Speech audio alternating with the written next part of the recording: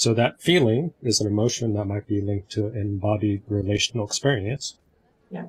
And then that links to an impulse, or it's able to connect to an old impulse pattern. So it can replace and interject from a prior injunction with a new meaning because there's a relational and emotional experiential component.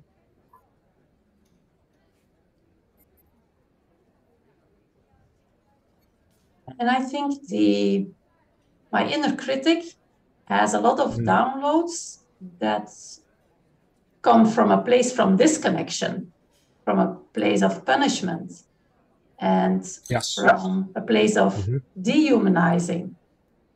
So my system really longs for connection. So if there's a relational uh, component there, it will choose that instead of this disconnected um, old structure.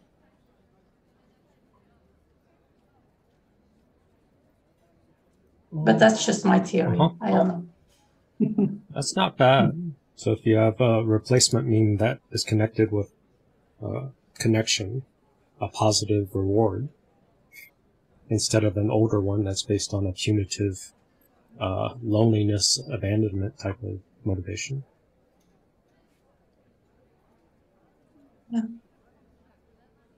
It's helping a positive aim, and it's reinforcing a relationship instead of constantly obsessing about being in trouble or getting rejected.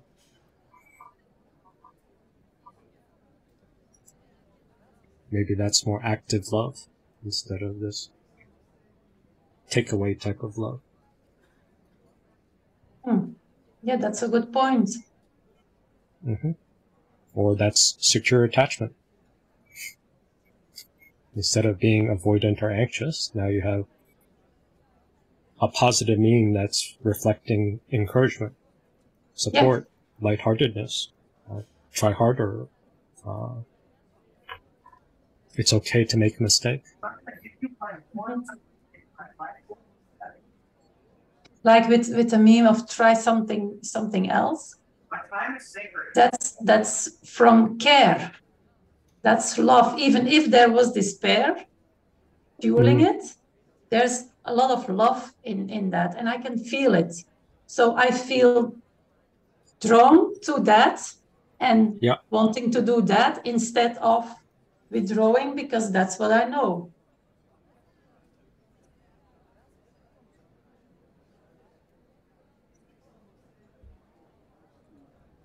Yes, Ellie gets a lot of credit for that meme. Now I have to look at the actual meeting to see what the context it came out of.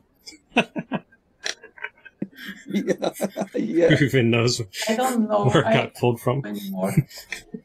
it, it- it's not important even. It it was Exactly. See, sometimes it comes out of uh, a different thing, or it could have been a deeper thing. Uh, uh, that's been a while, so I'm not even sure what it was uh, around.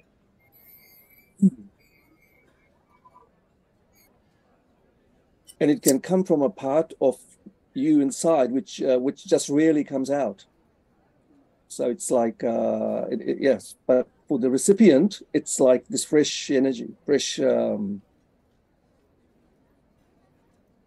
access For me, it, it feels like it's coming from that. That's from, um, um, um, I mean, it doesn't feel gendered really, but my maternal space, maternal, Mhm. yeah, something like that. yeah nurturing. Maternal. Nurturing. nurturing. That's- mhm. Right. Mm.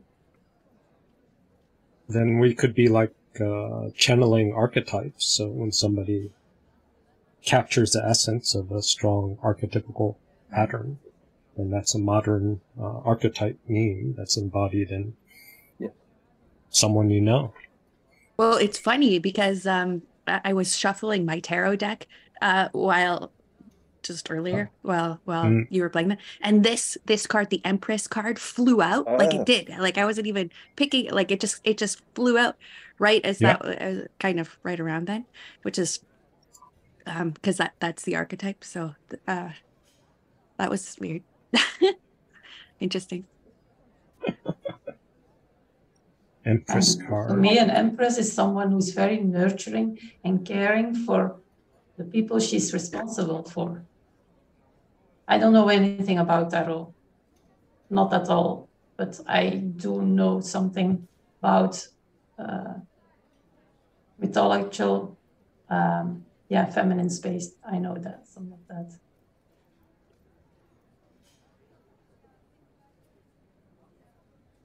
But what does the Empress card mean in, in tarot? like that um maternal nurturing um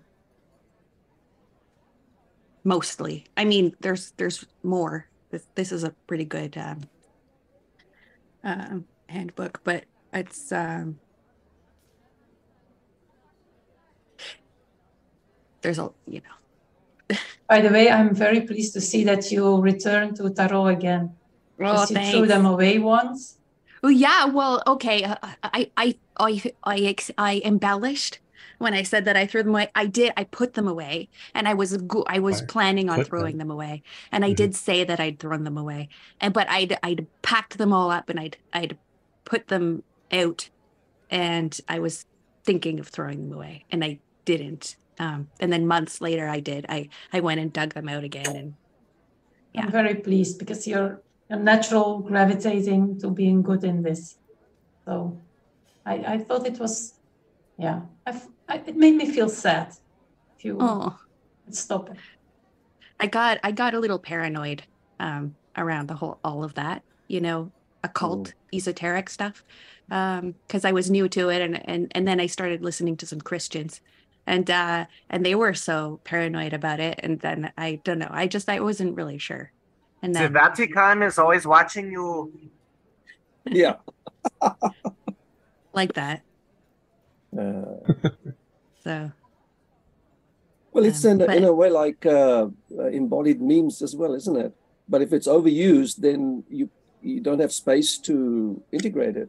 But if it's done a little bit, it's just a guide, which can act like a, like a, like a message, like a like a messenger to to open something. So, so here, Chantal, you asked what this just in in one sentence. Um, the Empress, she is motherhood, love, gentleness, but at the same time, she signifies uh, sexuality, emotion, and the female as mistress. I don't know. But hmm Mistress. Nice. Oh, someone's noticing accent My- or behavior patterns to at least tells. I'm I'll, I'm also the archetypal Canadian. Yes, that too. Very good.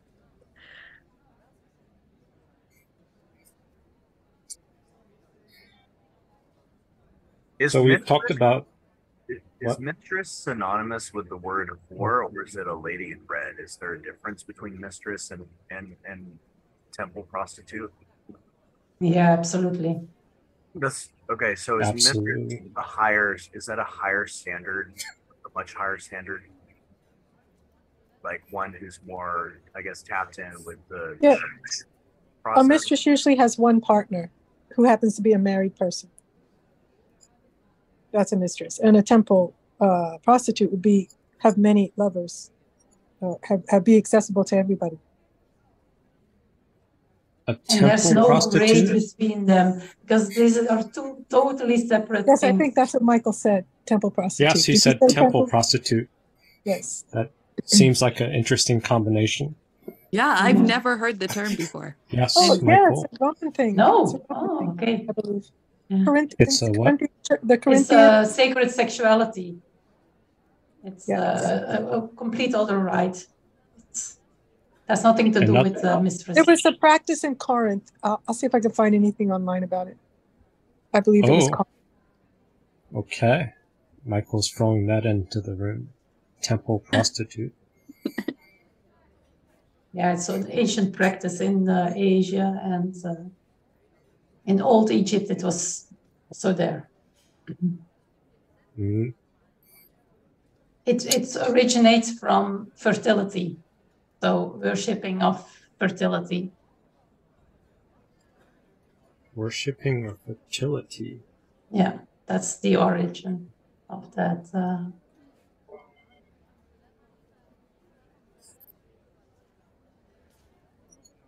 it's it's it's a rite. It's a, a more than a ritual. So there's there's this whole process around it. Yeah, but the It's more Greeks than a stole it from others. So Mm. it's not only Greek, it's much older than that. Yeah, I'll, I I found something else. Uh, sacred prostitution. Uh, Yeah. Sacred prostitution. So we'll see what Wiki says about it if you want to share it with the group. Me or are you going to share it? Yeah, I'm sharing it in uh, the link. I'm, Yeah, I'm, it's great. Can't You you summarize it for us? All right, I'll read it. Use your Uh, God voice. Put a little sacred prostitution in there.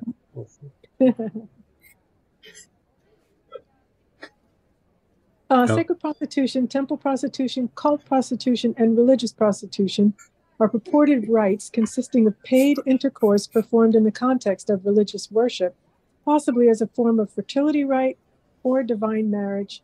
Scholars pref- prefer the terms sacred sex or sacred sexual rites in case in cases where payment for services is not, not involved. The historic the historicity of literal sacred prostitution, particularly in some places and periods, is a controversial topic within the academic world. Historically, mainstream historiography has uh, considered it a probable reality based on the abundance of ancient sources and chroniclers detailing its practices, although it has proved to be different between true prostitution and sacred sex without remuneration. Authors have also interpreted evidence as secular prostitution administered in the temple under the patronage of fertility deities, not as an act of religious worship by itself. However, scholarship in the 21st century has challenged the veracity of sacred prostitution as a concept, suggesting that the claims are based on mistranslations, misunderstandings, or outright inf- inventions of ancient authors. However, there is mention of it in the Bible. I could find that. Uh, there is mention of it, but uh, yeah. So that's that's the basic wiki talk about it. Somehow a deity is involved. Sale of a person's bodies where some portion, if not all, of the money or goods received for this transaction belongs to a deity. How come? How did this fall out of style? What? Why isn't there more of this now? What happened? Yeah, Catholic Church. Religion Couldn't domination. other churches continue this? Why? Yeah, they erased everything because all these old traditions they were, yeah, We can't worship fertility any, anymore? No. The all these old traditions they are gone Mm, because re- religion doesn't like that because then people will be empowered. So no, they need slaves.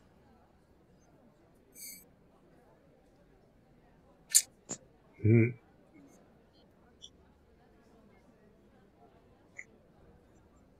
We'll see what this pointer does for today's meeting. Thank you, Michael. Temple prostitute. That was my Mhm. bad because I was looking into the Hebrew earlier today where it was um, Kodesh versus Kadesh Shah. And Kadesh Shah is temple prostitute, whereas Kodesh is to be set apart. So the difference between being set apart versus basically whoring yourself out energetically to other people. And the Hebrew was trying to, I guess, explain that. Hmm. Versus being set apart.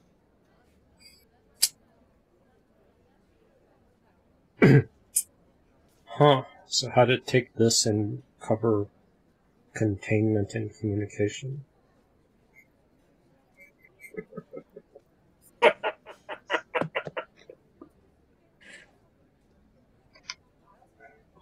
Well, sacred prostitution, you're using a deity to enhance uh, fertility or sex. That's uh, using a very ancient archetype in a religious institution to add more containment, to add more blessings, to add more direction, or even just protection, having that uh, the religion or the church or that organization to, be part of it.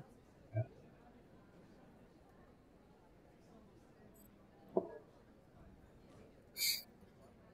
And then maybe our memes are a container to have a new instruction, a more nurturing, uh, feminine energy or encouraging type of space a directive, a statement that that matches or can replace uh, an interject that's more punitive and judgmental. You can have something that's more relational, more warm, and uh, that without that extra containment of a person, a tangible feel, then it's hard to replace uh, a childhood interject where you had a caregiver that was embodying that energy.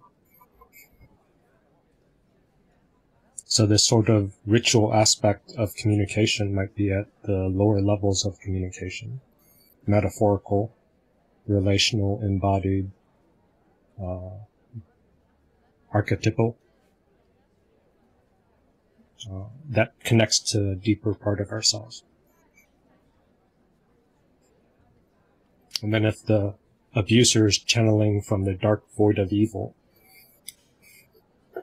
they're channeling a really powerful energy also. So you need something that's counter powerful of something that's highly relational, maybe sacred, nurturing, encouraging. to address this sort of uh, heart wound, this love wound, this absent wound that you got from a abusive, parasitic, life-sucking soul murder type of injury from an abuser. Yeah.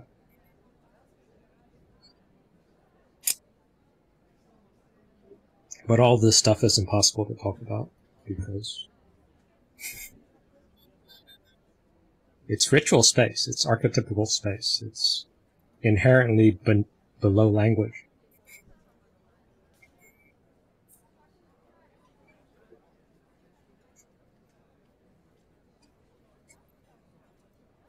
But we'll try anyways. Got nothing else to do. and the, the pollinators want to just fly over to the flower, suck you dry, and then blame you for not having enough pollen. Mm. So it's kind of like this weird male to female merge where I guess when you start to set boundaries and own your own space, you see where people are drawing off of your energy field and it's like no stop, but they built their whole identity around getting something from you. And so it's like no stop. And, and it's just it's so weird how they grab on to this idea of what they can get. Well, need, they need trauma, they need supply. Therefore, you have to neutralize it. If your energy when you're responding to the the uh, the merge is no stop, what if they're feeding off that no stop? What if it makes it juicier if they can eat your boundary, consume your boundary by when you say no stop. They might actually want to evoke. Yeah, they want you to violate boundary. yourself. They, yes. If you violate your own boundaries, then then you're you're basically simping out, you know, and and and not standing up for anything. They they I'm sure they get low, so much more louche when when you when you basically rape yourself. Well, if you split yourself into looking at the world through good and bad and a boundary and judging yourself for not holding up to your boundaries, that makes that, that life force more delicious. Yeah. Do you see the trap? I guess the trap is also part of the drama. I mean, it, it's it's hard to. Yes, they want the drama. Yeah. And when you start hating yourself and fragmenting yourself and seeing the world as dangerous and not trusting uh, the Empress energy, the divine deities, not trusting your relationships and trying to trust your own willpower or your superego, that is drama. That feeds the, the predator.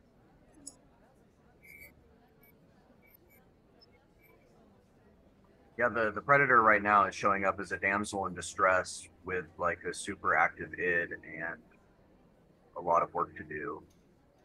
And then one day she wants to be wife, and the next day she wants to be daughter, and, it just makes no sense.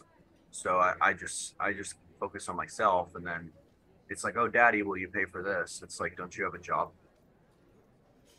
And, and uh, Yes, but if she's just shapeshifter to get into your defenses, and then as she shapeshifts, if she can switch from safe damsel into predator or whatever, that confuses you. That makes the supply better. Because she's giving you the narrative. She's controlling the frame. If you're reacting to it, that's what a predator wants. That's what an abuser wants. So the way out is to level up, to not fall into the trap, to call deeper archetypes or equal archetypes. And the call is to call equal archetypes of more love, more heart, more connection.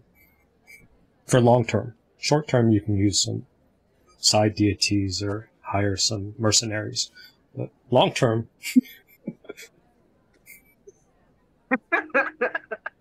Repetition compulsion. long term, you want to invest in uh, the, the older archetypes. I use a pointer of shared humanity, but if you have deep Mother Earth nurturing Empress energy, that might be comparable or maybe even uh, more connective.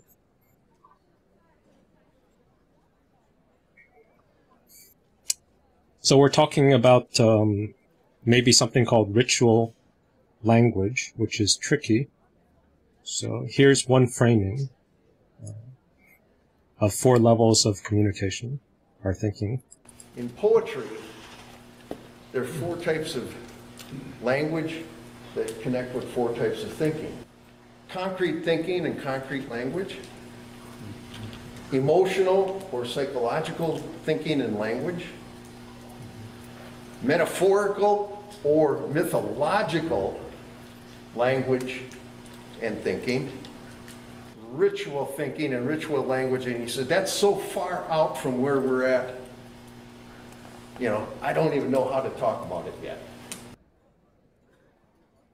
So it's sort of easier to talk about metaphorical, mythological language. To talk about ritual language, it requires more than talk.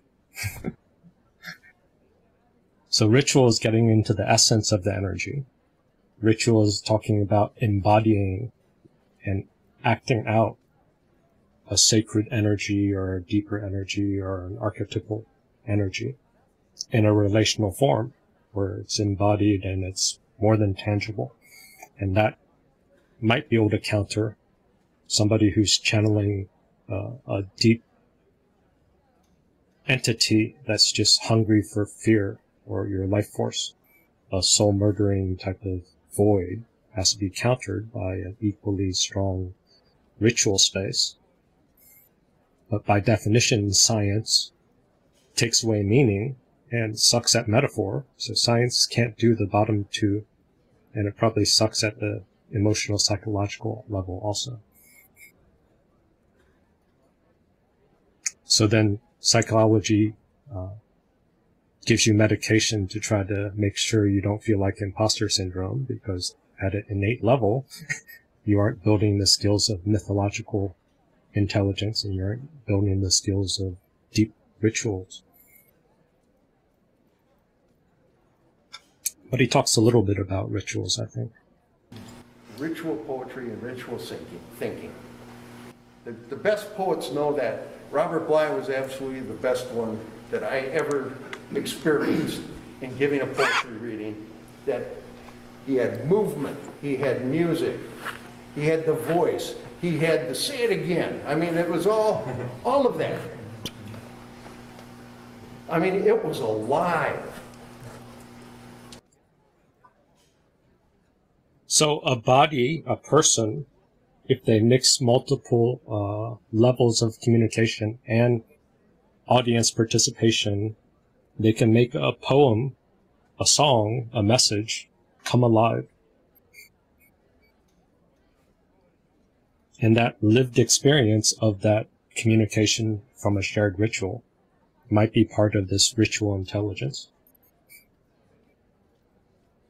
And in a sense, if you have re- repetition compulsion, you're going to another body that reminds you of some past trauma, and you're trying to get this combination to act out, to reenact this old pattern of unfinished business. Except you're not giving them instructions, they're not giving you instructions, so the odds of you finishing the ritual are very low. And the pattern is you repeat the you repeat the, the injury, the incompleteness, and that's why they call it repetition compulsion. You keep doing it, but it doesn't finish. And that's what poetry is. Poetry is this invisible, uh, what I call uh, the electrified emptiness, space, silence. There's a pointer. They have to be in here. That's electrified emptiness for me. And if a poem doesn't have electrified emptiness, you're not into the ritual thinking.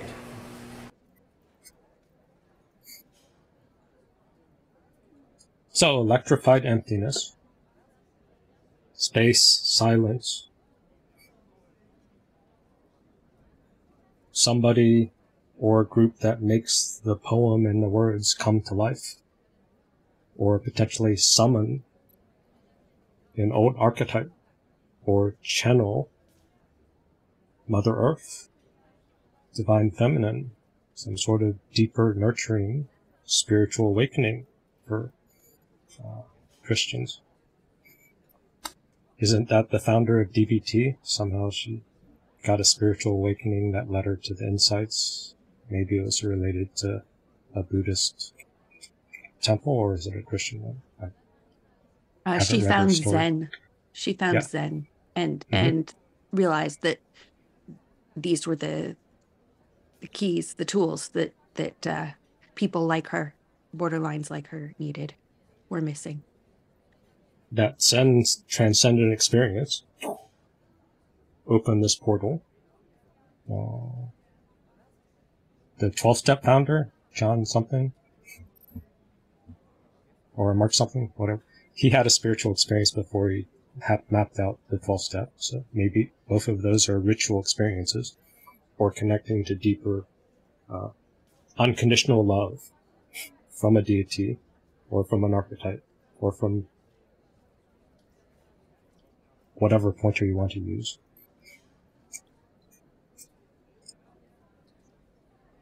And if that's a counter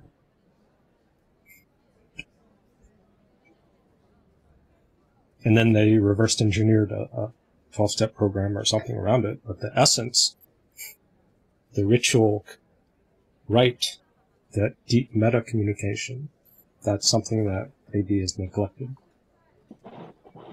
Or the Shakti blast.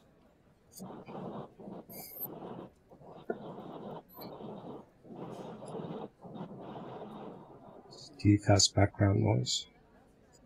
Mute you temporarily. So meta communication is another framing. This is a bit less essency, but a bit more practical, but I think it's sort of the same territory of getting beneath the words. Getting into the field, trying to make the message alive. Because our souls connect to a, a message that's alive. Whether it's panic, urgency, fear alive, or unconditional love that destroys all self type of alive. We're drawn to drama. Maybe that's another problem some people are dealing with. Real life is kind of boring, right? Meta communication. Hey guys, sometimes it happens that we see some kind of inconsistency in a person. And if you're really sharp, you can see how she's phrasing her statements in a meta hypnotic way. That's the advanced teaching. We see some kind of inconsistency in a person's communication. We do not know which level of communication to respond to. If you're sharp, you can see the inconsistencies inconsistencies of how she's adding extra layers. Meta communication is the communication that is happening through your body language, through your non-verbals, what the person is able to observe and feel but not really able to define. Meta communication feel but not really able to define. So there's this murky space of communication that you can evoke a feeling in yourself and the other person that's right at the level of uh, undefined or slightly defined, or the definition is a bit murky. And that, I'm going to argue, starts evoking ritual space, or it evokes flashbacks, or it evokes nonverbal memories.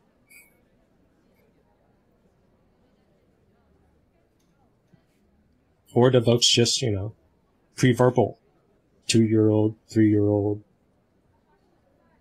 pure utterance, utterances, energy, and we respond to that because that's our substructure. But we don't pay attention to it now because we're so rational. We focus on the content, we forget the meta, we forget the context, we forget the latent content of communication. Meta communication, this happens at an unconscious level. So sometimes it happens that a person is saying something to us, but the feeling that we are getting from whatever he's saying is not in sync. This causes confusion in the mind of the listener. The listener is not able to understand which level of communication to respond to, what is being said or what is being observed. So this could be a test in future communications if you're dealing with something confusing. Do you latch on to what's said? Or do you forget or are you able to remember what you're observing, what you're feeling, what the context is? And this will be hard with someone who's really good at meta communication because they're they're going to guide your attention or your attention is going to be guided by what's on the surface and it's hard to catch what's under the surface. And if they're channeling an entity or an archetype, they're not even thinking about this. They're just flowing with pure life force. Meta communication. So sometimes we prepare ourselves so much mentally when I see this person, I need to confront him and this is what I need to say and this is what I need to say. Turns out it's not exactly important what you say. But the question is, how do you say it?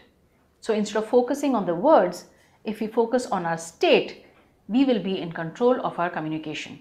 We will be. This is called overpromising and framing two opposites to trap you into thinking that state is some magical answer. I would try to lower the charge and say, it's not about controlling your state.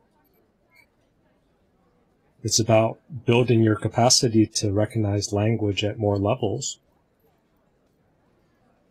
And it's not even about catching the other person's language. The more you can be congruent with your communication from the depths of your soul, from your open heart. If you're congruent, you can feel somebody else who's slightly off. Or you won't get knocked off by them being off because you're, you're more in line.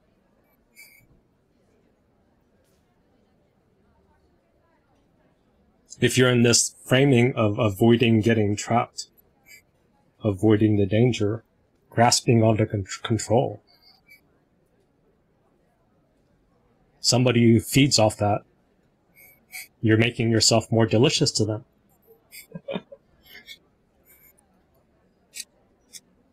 For people who listen to a lot of YouTube channels or wounded healers, after you leave them, do you leave them more paranoid? Are you more calm? Just recognize your state after you're listening to them to get a clue what emotions, what ritual energy are they pulling out of you after you, you watch their video. After you go to a meeting, are you looking for red flags everywhere? Are you yelling yourself with all these injunctions you have to remember? What's the leftover charge that's a ritual communication that they're giving you? We don't reflect on this. In fact, when there's a reflection video that comes, somebody just floods a bunch of noise because talking about reflection was too scary. Inside joke. Able to get through to the person in a way that we want to. This is not random. This can be very much controlled. So, this can be very controlled, very much. Look at these loving eyes when she says this can be very much controlled. Look at the confidence in her eyeballs. this is not coming from a skill. This is something that's a, maybe a, desire that she wants to control this, but she's trying too hard. My interpretation. So, when we say something that we don't mean, when we crack a joke which is not meant as a joke, it causes discomfort in the mind of the listener. The person does not know which level of communication to be taken as serious one. Should he take what he is listening as serious or should he take what he's feeling as more important? Meta communication, the person is saying something to us, but the feeling that we are getting is not in sync. Meta communication, the person does not know which level of communication to be taken as serious one. Meta communication which level to take as a serious one. Doesn't she look so relaxed? this is what happens when you take too many NLP and hypnosis courses. You can go through the motions of creating a mind state, but ultimately you're channeling your own insecurities into the message. because we connect soul to soul. So actors treat it differently. They actually want you to do the opposite. Sort of. Let's see. How to communicate authenticity from an actor's pers- perspective. When we're new, we like to force an emotion. We like to force expressions because we have an idea that, oh, well, if I don't show them I'm feeling this way, they're not going to see it, right? Wrong. That's not how it works. In film, you have to feel it and not show it because the camera will catch you lying. The camera can look into your soul and see everything. So, a lot of narcissistic abuse uh, channels will recommend that you record conversations because that helps with gaslighting. Because sometimes the abuser will tell you that you heard things wrong and remembered things wrong. So having an objective third party uh, recording or somebody else who is there to get that feedback. But also, if you can rewatch stuff and get in touch with congruence, then you can feel the essence of messages. So then slowly you might be able to spot what's real, what's coming from the soul, and then maybe what's coming from something else. And can't really teach you this. this is why people who grew up with secure attachment, they don't complain about narcissistic abuse because they get creeped out by abusers. So they, they don't make friends with them, but codependents say like, Oh, Love bomber. Let me repetition compulsion. Let's get married tomorrow. That's that's the grooming. So act naturally. Camera can look into your soul. And the shortcut is if you look into someone's eyes and build eye contact and stay with somebody's eyes. I can look into people's eyes and I think I can get a feel for their souls, whether they're looking outward, whether they're looking inward, whether there's pure terror and confusing coming out, coming out of their eyeballs, out of their pupil tension. But I can't teach that because I think uh, might be my superpower, or I'm just guessing. I don't know. But there are pointers that eyes are the windows to the soul and see everything. So in theater, that works. In theater, you can fool people a little bit better. But in uh, in film, uh-uh, no what, no way. People are gonna catch you fast. The trick is is to not show anything. Trust yourself. Trust you did the work you were supposed to do to understand this character, and then have fun playing the character. Be in the moment. Feel it and not show it. Be in the moment. Feel it and not show it. Be in the moment feel it and not show it. And that's probably a good tip too. The more you can feel it and have no expression or limit your expression, the more you're con- communicating the essence. The more you try to force the message, the more an abuser can sense that, or feed off that, or want to reject you and they'll get a high off of defying you. So channeling feeling opens the door to deeper levels of communication. This is a secret from uh, ISTDP about they labeled it as seven phases of pressure. I would label it as three levels of consciousness and then three levels of unconscious communication. And right in the middle is feelings, heart. So, short video, but uh, a bit boring, but I think it's very uh, practical and useful and actually maybe too useful. I might need to uh, figure out how to break this down slower. So what are the phases of pressure? What's the problem you'd like me to help you with? Next phase. Is that a problem you want me to help you with? Pressure to will. Could we look at a specific example? Pressure to specific example. What's the feeling toward your father in that example? So this is right in the middle, feelings, and a lot of psychology focuses on emotional literacy, but that's just the middle. That's just right at the surface of unconscious. Underneath the unconscious is the next three. Okay, pressure to feeling. How do you experience that rage toward him physically in your body? Pressure to the experience of, of the rage. And what's the impulse that goes with that rage? Then pr- pressure to portrayal. How do you picture that rage going out on your father in thoughts, words, and ideas? So it helps you see actually we have phases of pressure. But when we're in portrayal, we don't ask, how do you feel it in your body? We ask, how does it want to go out on him? Because pressure to portrayal is pressure to dreaming. This is oftentimes is not taught. So it's really. This is not taught. I haven't heard people teach this. simple, but people focus on the feelings. They get a little to somatics experience. Few people work with impulse. They might do it intuitively, but they don't talk about it. And then portrayals, they just label it as emotional flashbacks and say, go fix them or something.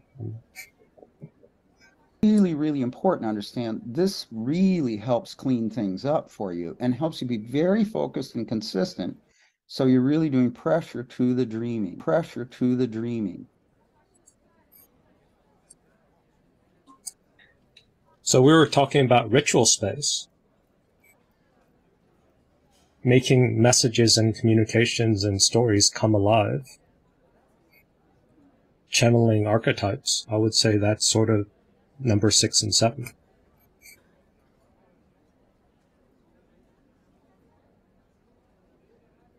And then number five is embodying it. And then maybe number four is how to activate it, how to get into deeper energies, how to open a portal to a ritual space or to access a memory of yours that's pre-verbal. Maybe the only way you can communicate it is by portrayal. Maybe it's not even by portrayal by dreaming. Maybe it's portrayal through transference, through projection, through countertransfers, through acting out and reliving the memory through portrayal. Sloppy, because it's not linked to impulse and experience, all this other stuff. It's a fragmented memory. So the more you can link all these together, the more you can contain and integrate the out of control portrayal. But if we have this rule that says acting out is bad, aggression is bad, so anytime you leak out portrayal, you get judged and you judge yourself, you're just stopping your impulse. Or other people are stopping your impulse. Instead of being curious to say, okay, here's an impulse that's responding to something, and then there's betrayal, and there's all of this other uh, confusing acting out. Can we translate what the unmet need is? Can we translate why do you, why is it sticking? Why do you have repetition compulsion? What if all you need is somebody to just finish the story? You might not even need anything. what if your portrayal just needs to be seen? Needs to be witnessed, need to, needs to be honored like it's a, a spiritual sacred message. Possibly validation? Well, validation, but make sure it's validation from a portrayal level, not from a feeling level. Betrayal level, okay. From a ritual level, from your spirit is agonizing, wanting to send you a message. so you keep reliving this repetition compulsion. You keep having this nightmare. You keep having this passionate dream towards a certain energy. If it keeps fucking happening to you, it might be because it's a message that you haven't I've been figured out. Yeah, it's unfinished business. Yes. Yeah. Really resonates with me, Steve. Mm-hmm. Especially after the last meeting. Getting it out. So we're giving, we're encouraging you to have space so that you can consider this deeper acting out or confusion that's in your system might be unfinished portrayal and Yes. unfinished ritual. Absolutely. I guarantee it. A cry for help from your inner children.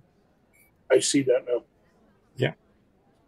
And it's not for us to dictate what that message is. It's up for us to try to use our creativity to try to translate it better, to communicate with the portrayal or encourage it to give you more information.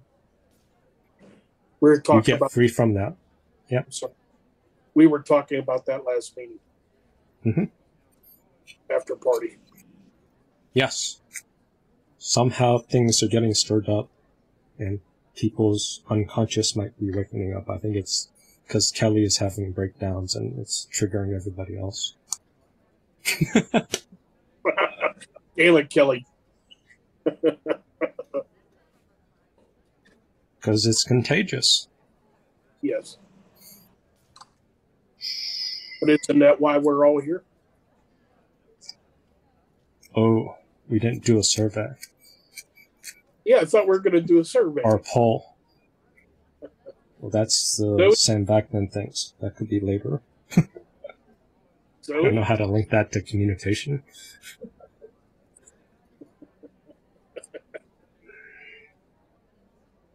So meta communication, ritual communication, nonverbals. I was going to try to dive into psychosis, but I'm not. That's kind of a jump. Actually, psychosis would dive into hyper-reflexivity, which I sense is useful, but I think it's hard to get. Punkage Amir Green. Let's go for it, Dave. So this is a clue that Sam Vaknin shared in earlier videos that I sort of caught, but it caught my attention more on a revisit.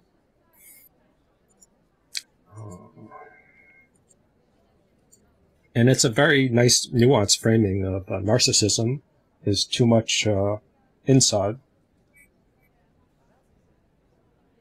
And then psychosis or hyperreflexivity or maybe autistic floor is an issue of too much outside and an issue of too much self. Getting lost in too much hyper reflection.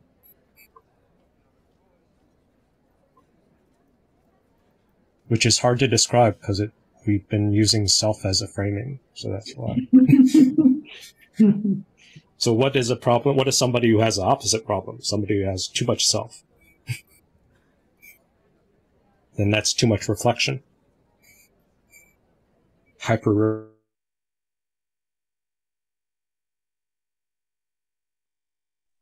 Deef, you froze. reflection. Cutting out.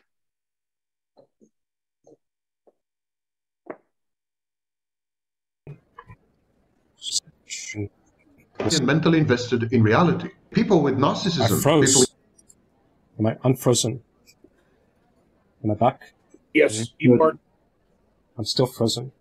Oh, You're good. other two things are moving. Okay.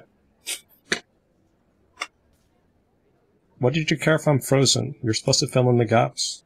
Just pray to your deity. Healthy people are emotionally and mentally invested in reality. People with narcissism, people with psychosis, they're emotionally invested internally. Narcissism is a form of introversion. There's no ego, there's no constellated self. There's just this fragmented, fractured landscape, chaotic and kaleidoscopic. So, narcissism is one way of trying to defend against this internal disorganization by rigidly attaching self states to defense mechanisms. The second condition is psychosis. Psychosis is different. And it might not be just psychosis. It might be schizoid. It might be autistic. It might be the psychotic side of borderline. but we focus on narcissism because uh, empty schizo core, the one layered self, all that stuff, it's sort of easier to make sense of. Plus, Sam Vaknin has a bias to describe it because he's a narcissist, or identifies. So the side, psychotic side, it's hard to get a good self-aware psychotic to describe their landscape because they kind of suck at communication by definition. They'll give you rabbit holes and metaphors that'll just make your brain hurt. So simplifying the psychotic sense of self is very hard. And maybe that's why it's scary. So if I can help put words to it, when you reach psychotic states or you merge with somebody who's a bit more too much self, it might be less intimidating. Maybe you're just diving into ritual space, and that's a time to call a deity. That's a time to be curious, to honor it with space. Don't get too close. Watch what's happening. Give it space because this is infinite imagination. Psychosis, what's their defense? The second condition is psychosis, which is exactly the opposite of narcissism, actually, where there's Opposite. only a self, only an ego. There's no world. The world is the self. The world is the self. And so, there again, the defense would be to associate specific self states with specific defense mechanisms that keep the world out, that keep the world out. So you also have defense mechanisms, but the defense mechanisms are to keep flooding of too much reality so that you just merge with the self as world. It's a different type of terror. That's where the schizoids have life anxiety and neurotics have death anxiety. Too much life and too much social interaction for schizoids floods their sense of uh, existence. That's a sort of easier framing. The autistic is flooded by a sensory flood of something that'll flood them and all they feel is that one sensory thing and they lose touch with reality, but they can't escape. So once you, the autistic floor, you fall into one trigger you start merging with everything.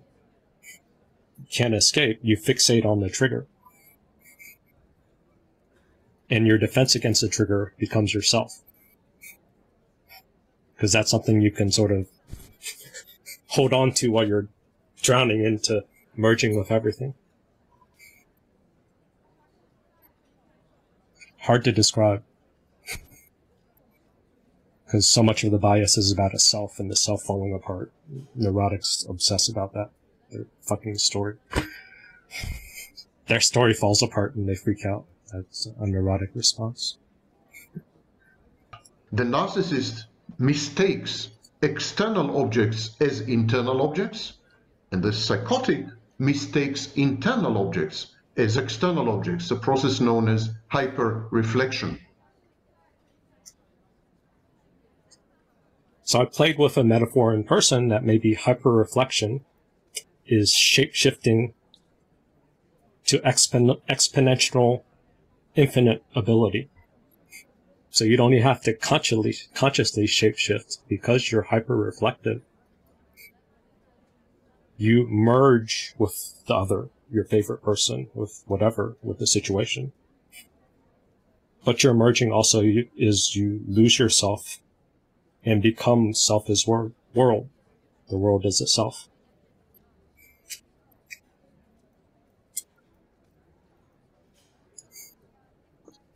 I think he covers a little more in this. We'll see. Psychosis is when it's very difficult to tell apart yourself from the world. When they are merged, you don't have boundaries. You don't know where you stop and the world starts. So if you're in a psychotic state, someone telling you to set boundaries is kind of impractical. After the fact, when you have your distance, then you can say it should have had boundaries. But in the midst of a psychotic merge, enmeshment, self is world, there are no boundaries. There is no awareness because it's, it's too much self. it's not a self that's defined by story. It's a self that's just in the moment. It might be a flow state. So maybe when I go into self is, is world, I try to define myself based on my process. What's the flow state? What am I, where am I trying to get to? What is this emotion that I'm feeling? What is that directing to? And I try to get a shape based on that. But trying to set a boundary and all this stuff where you don't, you lose awareness of that, it's a stupid advice because it's a neurotic strategy for a psychotic uh, issue. You expand outwards and consume the world and assimilate it. And so you become one with the world. This oceanic feeling that many, many gurus and mystics keep alluding to is, I am sorry to say clinically, a psychotic state. Psychosis involves a mechanism called hyperreflexivity. And this mechanism makes it very difficult to tell apart the difference internal objects and external objects, internal voices, introjects, and external voices. That is why psychotics hear voices and they experience hallucinations, which are actually projections of their internal world onto reality. So we focus on that part because they can talk about it. But that just means they have a larger canvas to throw their imagination on. If self is world, their hallucinations and their inner voices and noise can get projected outward onto different people in different situations because self is world, not because they're delusional or they're hearing voices. It's because their sense of self expands outward. They have too much self.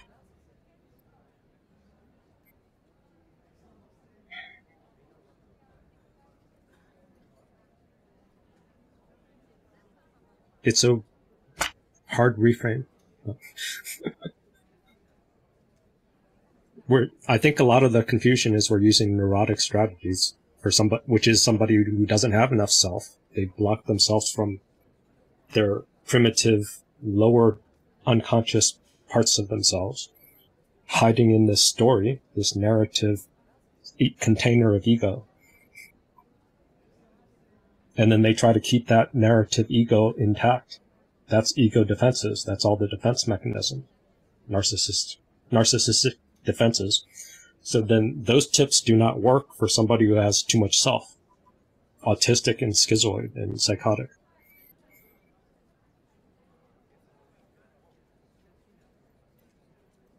That problem is hyper-reflexivity. So this is psychosis. And all children are psychotic. Because we start when, off when psychotic. children are born, they can't tell the difference between inside and outside. They can't tell mommy apart from themselves because they have no selves. The child, until probably age 18 months, the child cannot separate herself from the universe. She perceives the universe as part of herself and herself as part of the universe. It's a single organism. That's why children react very badly when mommy leaves the room. That's why children need to develop object constancy. In other words, the, the, innate belief that objects continue to exist even when they cannot see the objects. So psychoticism is a state where the child is totally fused with his or her environment and doesn't realize that there's anything external to it. Very difficult to tell apart yourself from the world. You don't have boundaries. You don't know where you stop and the world starts. Little drama at the end, but let's try to stay on hyper self reflection. Maybe that's a, a bridge to try to understand the psychotic experience or the oneness experience, the enmeshment, the merging. Maybe that's why love bombing is so yummy you get a taste of psychosis, and then you have this narrative of finishing some incomplete repetition compulsion. So now I gave you a, an intro to hyper self-reflection. We can try the video that Kelly got to watch a few times. We'll see if anybody else gets tripped out by it. Because I think this guy actually is using a lot of meta communication with his edits. Then I added more edits to try to capture the problem of hyper uh, reflection, hyper self reflection.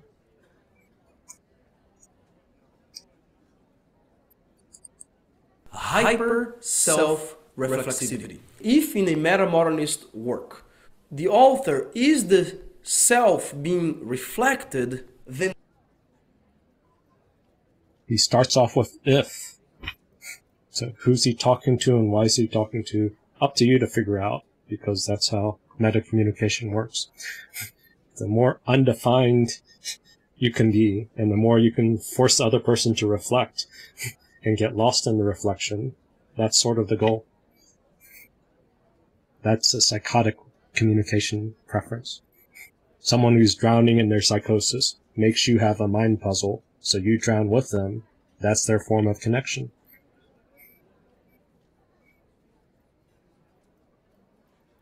And it's not because they're consciously trying to con you, it's because they've been initiated into the core double bind, which comes in Act 3.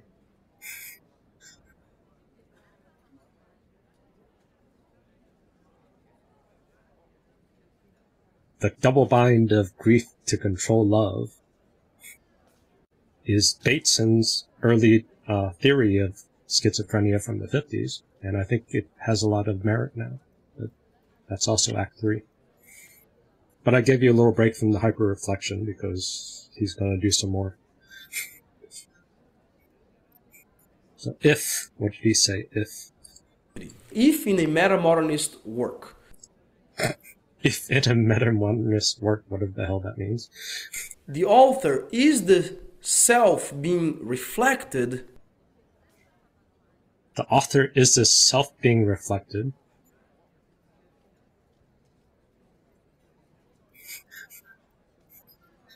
if the author is the self, if the author is reflecting his self in the work, what? Kelly, did you translate this better? if the author is the self being reflected, that seems wordy.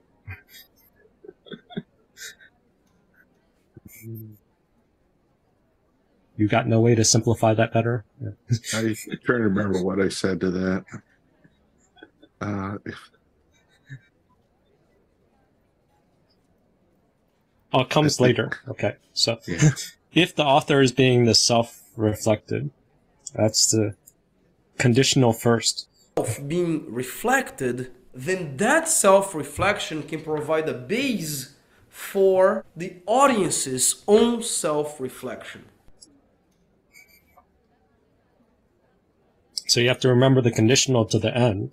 So if the author is able to write in a way or present in a way to share self-reflection from himself, he can create a canvas for the audience to have some self-reflection or or he can flood the audience with self-reflection to damn them into schizoid folding inness.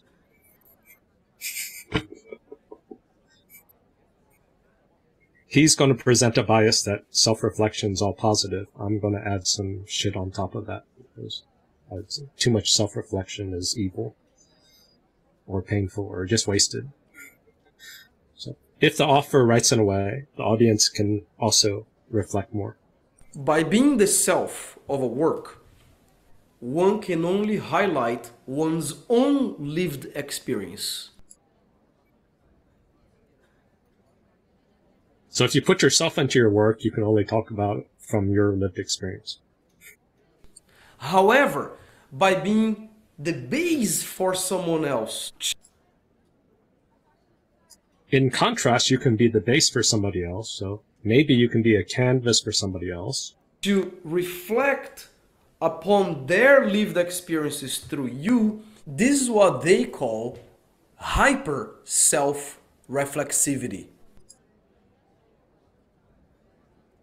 So if you can communicate in a way that negates yourself and negates the audience and negates the message, you can highlight reflection. You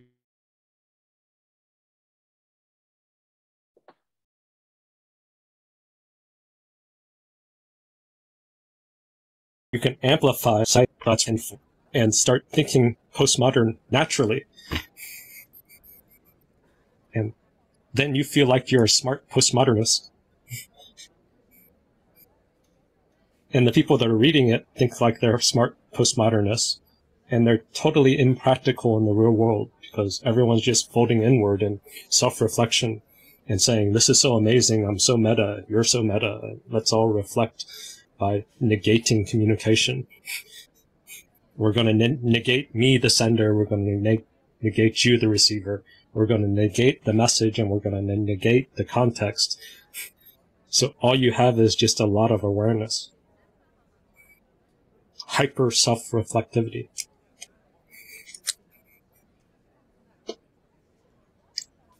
And that is beautiful. Hyper self reflexivity. Hyper. As the author says, it's like breaking the fourth wall. Be- Ha! Breaking the fourth wall. So. If you have a bit of psychotic skills to navigate the territory, you can now dive into this territory of breaking the fourth wall. You can do it more skillfully, or you can do it more sloppily, or your sense of reality and inside the story gets confused. Or you can use breaking the fourth wall to have another layer of meta to communicate to others, to try to act out ritual space together. Let's together break the fourth wall and make the teaching more alive. To include our body, to include our heart, to include our blood, sweat, and tears. To make the performance matter more than anybody's personal story. To make the performance a devotion to the divine.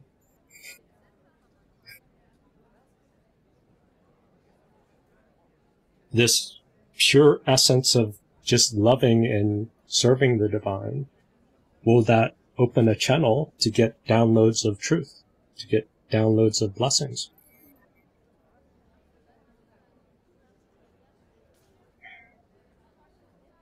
So maybe this space of hyper reflexivity could be adaptive if it's used in the right spirit. But if it's used to consume others or to control the outcome, then it gets distorted and uh, tainted.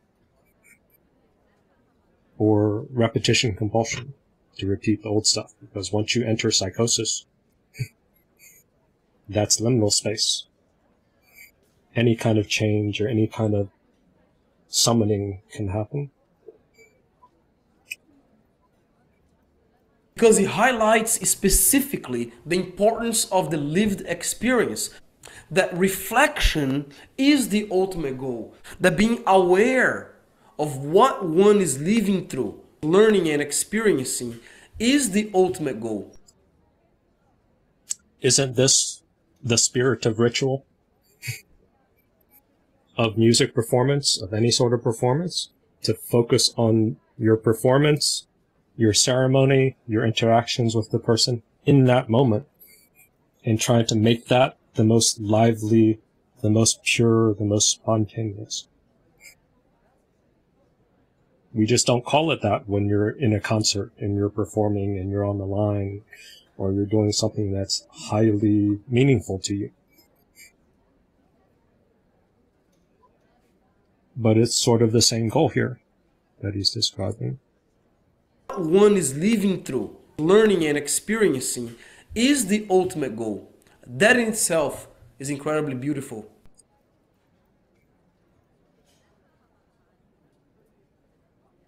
The goal is to bring as much life, life force, preciousness, sacredness in that performance, in that interaction, in that love.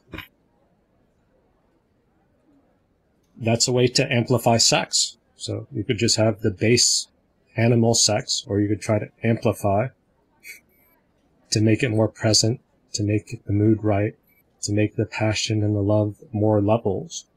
So that's a bit more easy to see how the body is involved with sex. But you can do the same thing with a conversation, with a meal, with a, a special event, with a meeting. You can try to amplify the life force. With hyperreflection, positive psychosis, to put your body in an empty state, to download your innate wisdom from the soul and from archetypal divine entities and stuff. Or ancestors. You could be trying to honor your ancestors who are watching and probably dumped you with too much burdens. We lost Kelly. See what happened? Too much hyper reflection. Oh, he said stand by. if not magical. The idea here is to tap into a oh, well, that in itself is incredibly beautiful, if not magical. The idea here is to tap into a hyperhuman, hyperhuman, hyperhuman. Hyperhuman could be labeled as fragile, as vulnerable, as exposed, as scary. Is that the other side of paranoid transference by The paranoid schizoid state?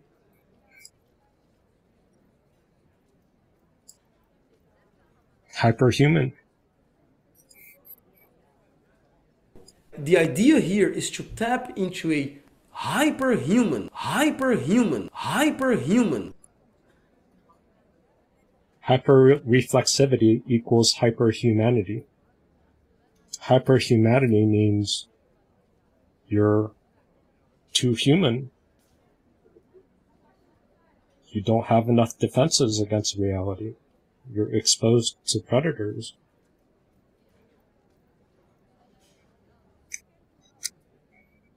That's also trauma bonding. That's why the life force is so charged. Maybe.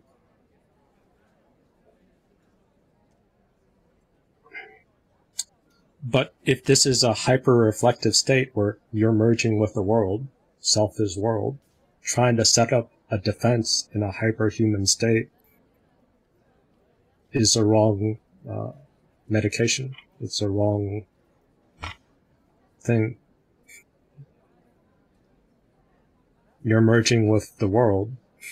You're merging with self is world. You're an empty channel. Can you call on a deity? Can you call on, call on nurturing energy to be your defender instead of you trying to set up a boundary?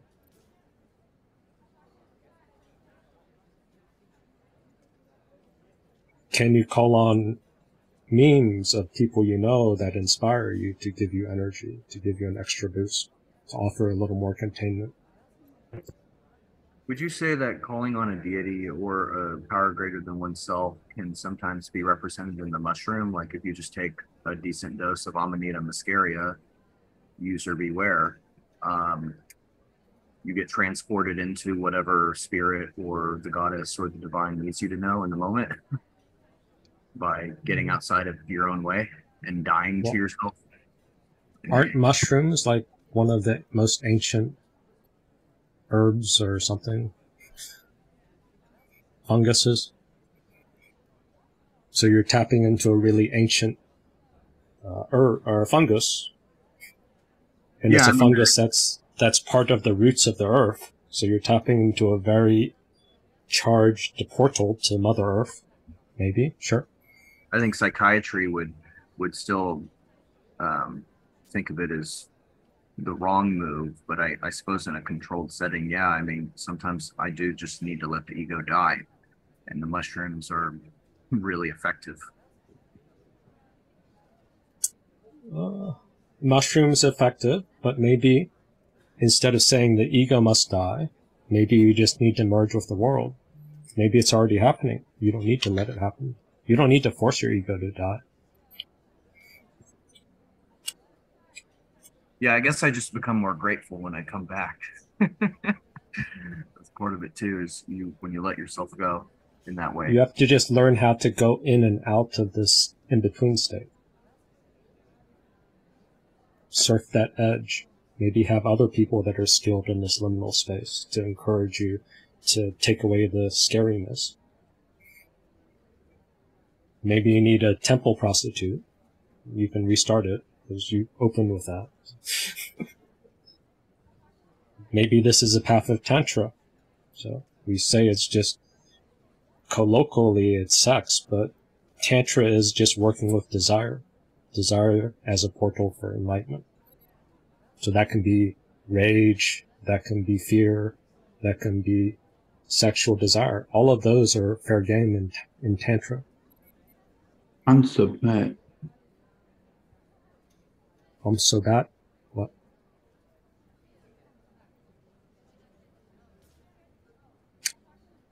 Your accent is hard for me to hear. Submit. Other people translate. Did he say? Did he say submit? It's like submit or something of that nature. His timing is slightly different, so he threw it into the room. We'll work with it, maybe. Back to hyper reflection. a deeply felt experience. It's amazing. So it's a path of feeling something deeper. I would say at the impulse in the portrayal in the ritual space. And using that as your anchor. Using that as your grounding. Using that to reconnect to your soul. Because if you're dealing with soul murder, maybe you have too much hyper reflexivity. You have too much hyper humanity. So your wound is soul murder. So you gotta work towards connecting deeper. Deeper feelings. And then my pointer has been follow your pain, but that's a hard sell. Even Chantal didn't like it for um, months or years. pain allows you to localize yourself. If you're hyper reflective and you can jump all over the place because your self is world, you have to localize yourself in your body. Pain is the quickest way to localize where you are and where other people are are because you're not going to feel other people's pain. So pain allows you to find yourself, to localize yourself. And then you can go deeper in your localized self through pain or pleasure or desire or sex, whatever, but something that's that can localize you. I don't care. Deep feeling, what he said here. Human, hyperhuman, a deeply felt experience. A deeply felt experience probably is a portal. And if you're with a, a neurotic, a deeply felt experience is threatening to their superego, so they're going to squash and attack you from their most vicious superego policing if you feel too much.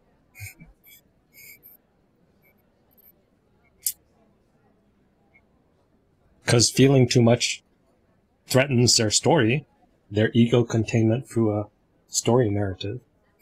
So they can't witness you reconnecting your soul from a psychotic liminal space. That's amazing. Hyper self reflexivity. And that is beautiful. Reflection, reflection, reflection. And people used to criticize me because I would just say, Oh, that's beautiful. So somehow he copied my line, or maybe that's the line of hyper reflexivity. hyper humanity. It's beautiful, whether or not it's painful, agonizing. More humanity. It's beautiful. God is happy. You're human.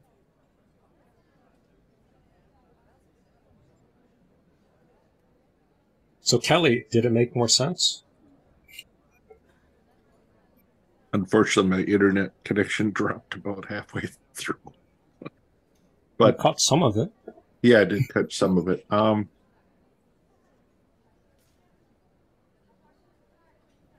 hmm.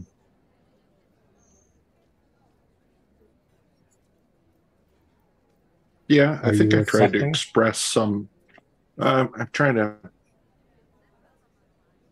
piece together what your interpretation and mine was, and make. I'm trying to. I'm trying to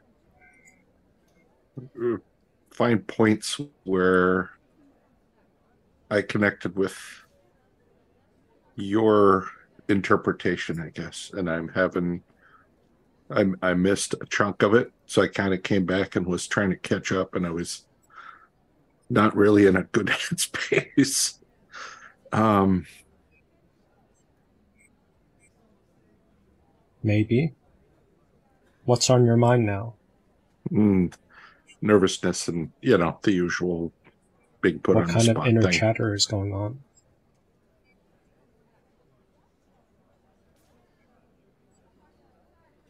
There isn't a lot of inner chatter. There's just a lot of tension and a lot of fear Okay. and About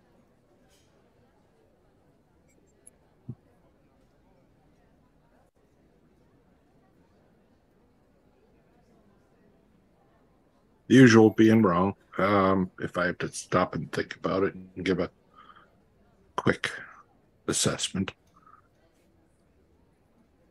the usual being wrong. Yeah. Quick assessment. If you're reflecting about yourself, talking about a video that's inspiring reflection, how can you be wrong?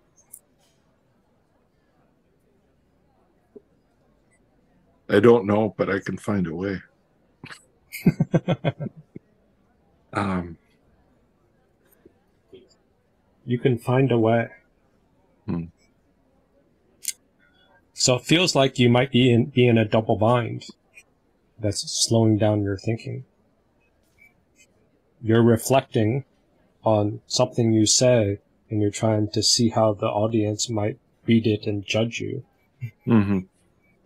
Instead of getting your thoughts right, you're trying to predict the future based on something that you haven't even done and you haven't even conceived of the words, right? Yeah. Yeah, it's a fun little trap. Yeah. So,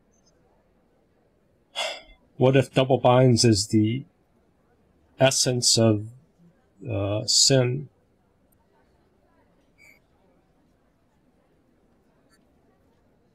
A core essence of humanity, of social conditioning, of neurotic conditioning. So they're in their double binds, and the people that are CPTSD have a different double bind. of trying to avoid punishment or trying not to be afraid of punishment because they got punished for being afraid of being punished. They got punished for expressing fear of being punished. How does a kid get out of that out of that double bind?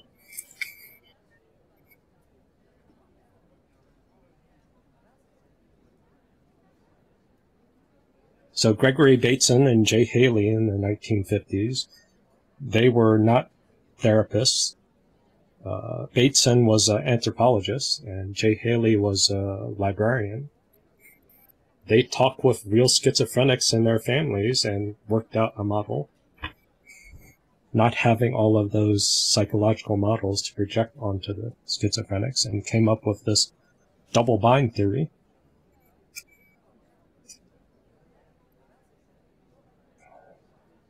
which I think is linked to grief. I think it's linked to a lot of splitting, a lot of defenses that we fixate on. Is just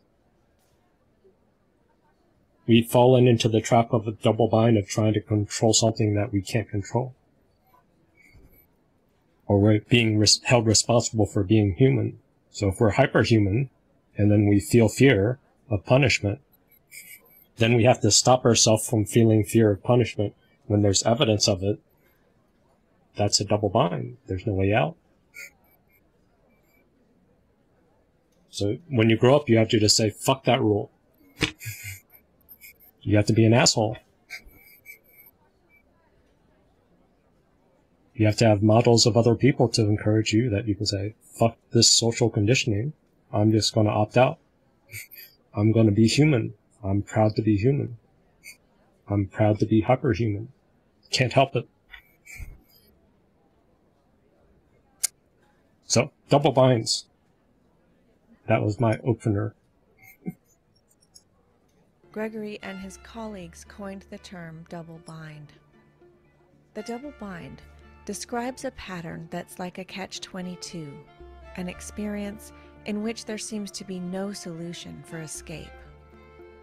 The story Gregory used sometimes to explain the double bind was about the gnat and Through the Looking Glass. So this is, I think, his daughter describing this story. This is a more sanitized story, but it's, it's kind of cool. It shows the double bind. Then I'll try to get an edgier version. There's a gnat. And the gnat is a still small voice explaining the insects of Through the Looking Glass land to Alice. We don't have butterflies, we have bread and butterflies. And the bread and butterfly bread and has wings of very thin slices of bread and butter and a head made of a lump of sugar. Wings are made of butter, and a head is made of lump of sugar. Alice says, what does it live on? And that says weak tea with cream in it. Alice saw a difficulty. It lives on tea or cream or drinks. The difficulty, the double bind is coming. So she said, What happens if it can't find any? The gnat says, It dies. Alice says, That must happen rather often. The gnat says, It always happens. the double bind in which the burden butterfly finds himself. Namely, that if he gets his food, his head dissolves in it.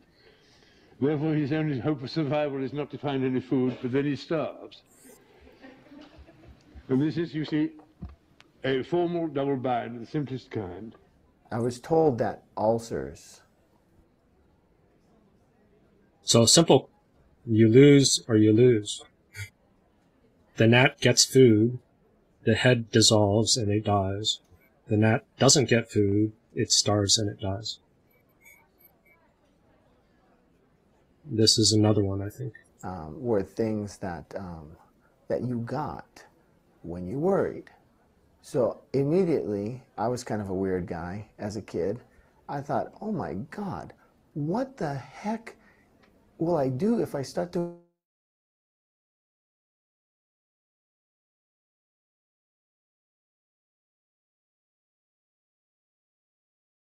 worry about ulcers? Then he started worrying about what would happen if he got an ulcer. Racing his odds of getting an ulcer.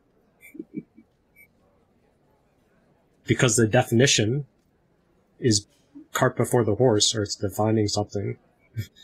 It ends up being counterproductive. So it's a mind game that can get you into a recursive loop. Mind is a creative imperative. It's the moment when, because this doesn't work and that doesn't work, something else is going to have to be improvised. A creative impulse is necessary at that moment to get out of the situation, to take it up a level. Can we see a bigger picture? Can we think about the way that we think?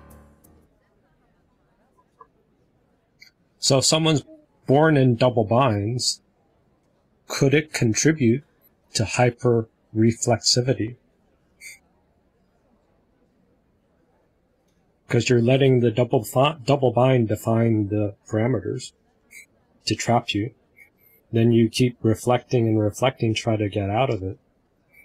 But the way out is to add context to get out of that frame. But if you don't have anyone modeling that, if everybody else is putting each other in double binds as a primary source of connection, of controlling love, of keeping people from feeling their impulses by creating a double bind as a containment strategy for someone who's too psychotic and paranoid because they're hyper reflecting all over the place because self is world.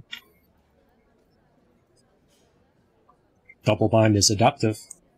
So you need to level up to have a deity, have a ritual contain you, have a community of memes that care about you when you get lost in, in world. When you lose yourself, have somebody else be placeholders for you. So then you can work through the, the double bind to see through it. Now this is a more form, more basic form of double bind. And it's from Jay Haley, the person who worked with Greg Bateson. And I think this is a more simpler, but he doesn't really describe the painful nature of it, but it's a simple description. He had an explanation of schizophrenia. The schizophrenics were caused by being punished for expecting punishment. Right there. Being punished for expecting punishment. Creates an impossible double bind for a child. You're supposed to turn off your awareness of punishment and not game that. Numb yourself, which is going to force you to self reflect. You're not allowed to look outward. So then you have all the passive aggression of the schizoids. Because they can't express their aggression outward to, to navigate dangers. Because they're being punished for being, expecting punish, punishment. And it's easy from a parent's stand- standpoint. And John and I uh, talked to him about this double bind, which he created the term of, and said, How do you know A schizophrenic was punished for expecting punishment.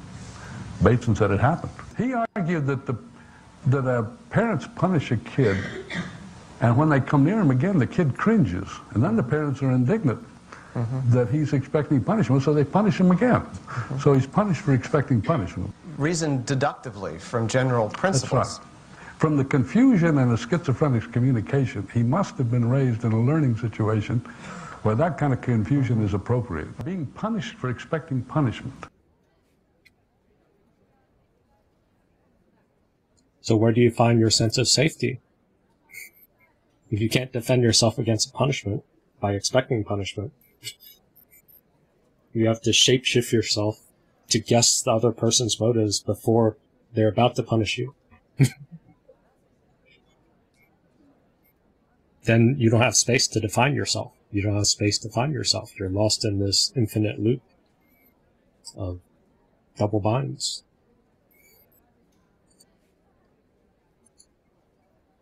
And then what if your only way of connecting to other people is through double binds? Because you're binding yourself to find to be a way to be a good daughter or son. That's your way of loving yourself. So when you give grief to others, you're giving others part of your double bind. That's the only way you know how to show love.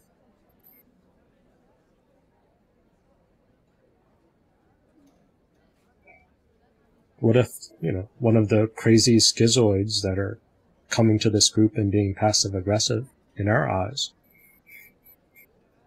That's their inner world. That's them showing themselves to us. We're seeing as parasitic because we have enough of a some distance from our double binds, but to him or them, maybe double binds is all they know.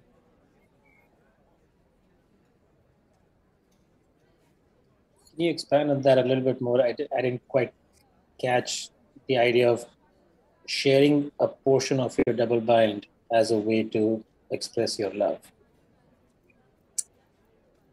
Well, if you're a child and you got double bind by your parents, the parent punished you for expecting punishment. So then now you want to be a good, good child, good son, good daughter. So you want to not be scared of being punished. You want to be a good person. So that's your way of protecting yourself and being a good person, a moral injunctive, a moral desire, by trying to prevent yourself from feeling afraid of punishment. That's your natural drive is to be aggressive. to say, I don't like it. Right? So your natural drive is to be aggressive outward. You fold your aggression inward to try to stop your natural drive of saying, I don't like that. it's not fair. You're folding inward. They don't actually. I was folding in. There. I was folding in, folding in. No energy recycled outward. I was folding in, folding in. No energy recycled outward. I was folding in, folding in. No energy. So you direct your aggression inward and you start folding it inward into an infinite loop that creates an amazing black hole. Your self-created void of folding inward. Part of it is hyper-reflection, and part of it is using double binds because that's how your parent showed you love. You trying to fit yourself into the mold of acting out what your parent uh, punished you with. That's you do, being in ritual space of containing yourself by folding your aggression inward.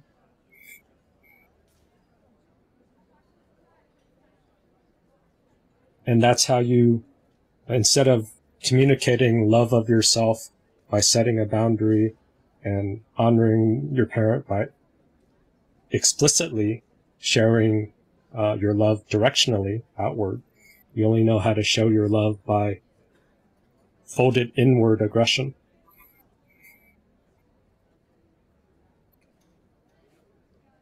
That's all you know. Because in order to show your love outward, you have to target the person. You have to have language. You have to have many layers of showing your love to a person. You're spending all your time folding inward. Create, playing with a double bind, that's impossible. So when you communicate to somebody else, naturally, you're just going to connect to them through a double bind. Through passive aggression.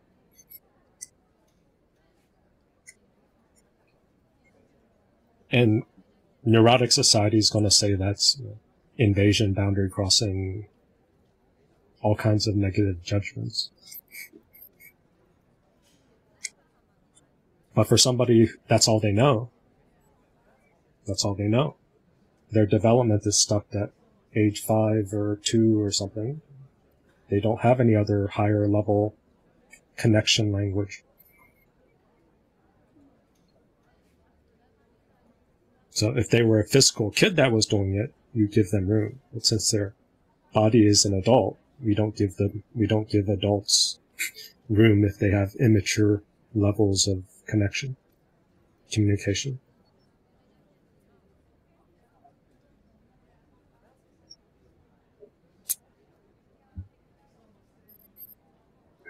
Double binds are tough to describe.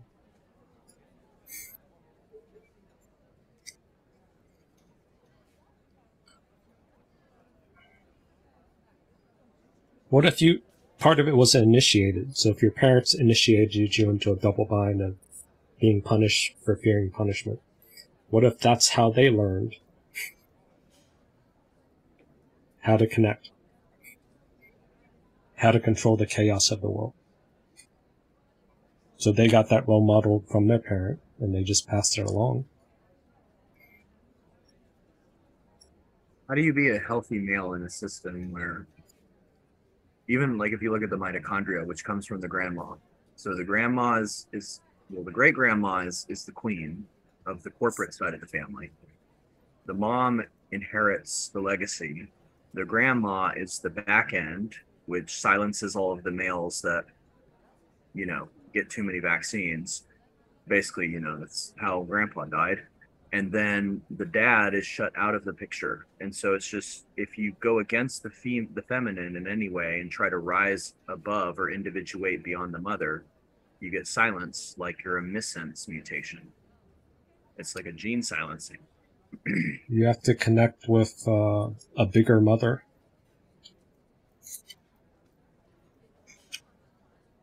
It's just there's no room for the male to you know to rise field. Yes, you have to connect with a bigger mother, Mother Earth, larger divine feminine. Larger context gets you out of the double bind. So trusting women outside of the family. No, you have to trust women that are disembodied. Okay, so so more of a an, an mushrooms and yeah, energy, nature, or something, archetypes maybe a living woman that's channeling the archetype or something, some sort of divine healing or a temple prostitute. Yeah. You gave the answer at the beginning. Well, All I the filler material was to give intention. you back your answer. that wasn't that my you intention. seeded the meeting. It, it felt a bit vulgar to even use that term, but it was just it was just the actual translation for the Hebrew. That might be your answer. Maybe that's my answer. We gotta find a religion that's doing all this sacred temple prostitutes, sacred sex. And that's people just need sexual healing. If I had that meme, I could play that right now. I didn't see this coming.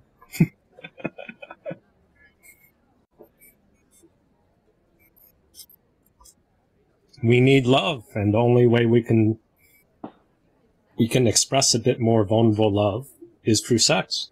We don't know how to talk it out. We don't know how to connect friendship love. It's just this really narrow ideal of sex or eroticism.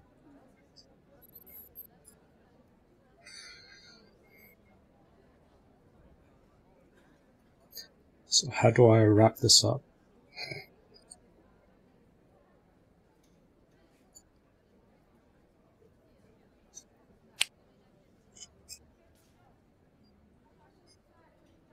So part of the problem isn't double binds. Maybe it's um, negative double bind into a positive double bind, or taking that double bind into a paradox that helps you uh, become more human or develop a spiritual practice. Turn the double bind into a paradox. That's also same territory as com- combining the split. Existence is naturally binary. There's natural opposites. Being human is learning how to have space for these paradoxes and these opposites.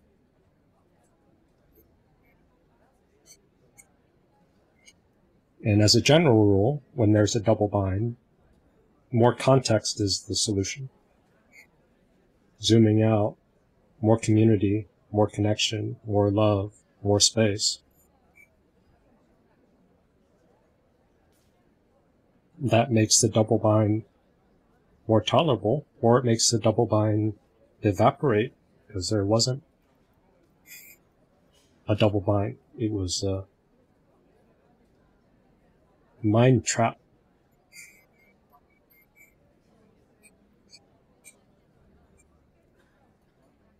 Or a stopping point to sort of work on this puzzle of humanity and then say, okay, that's everybody struggles with that.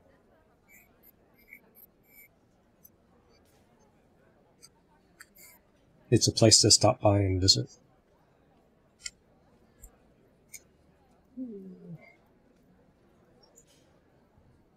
So did I cover it here? Maybe I covered some of it here from a spiritual approach. That's so funny. I love this whole pointing out extremes. It makes me feel like so much more clear headed. We're just keying in on naming entertainment, loading practices, using your attention to gently touch different energies. So name entertainment that's using language to contain your strong emotions and your impulses. And then you can stretch the extremes by trying to say, if the double bind happened here and here, what's the worst case scenario? So you try to expand the double bind so there's more space in the middle. Adjust a system and then magic happens. Yeah, I want to so I'm clarifying with you. So when I go do it on my own, I need to really verify what it means to be gentle. Well, you um, learn to be gentle by being rough. So nurturing space, you can channel an archetype, but also through pain feedback, you learn how to be gentle to get the right amount of firm touch. It's a feel. It's a visceral experience. Yeah. Oh, like the the variety. Yeah, gentle is the right fit. Too rough, too soft. Gentle is in the middle.